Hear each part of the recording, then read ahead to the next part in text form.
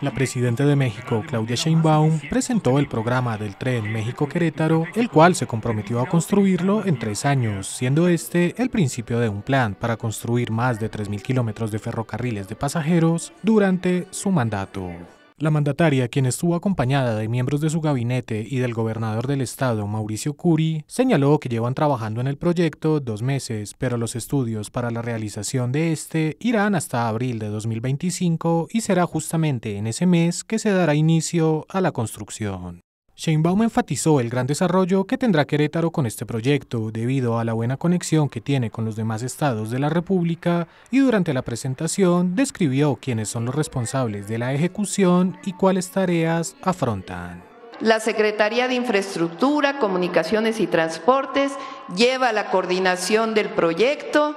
los ingenieros militares construyen el tren, la Secretaría de Medio Ambiente, que es el convenio que acabamos de firmar, pues va a revisar todo el impacto ambiental para que el tren pueda construirse adecuadamente.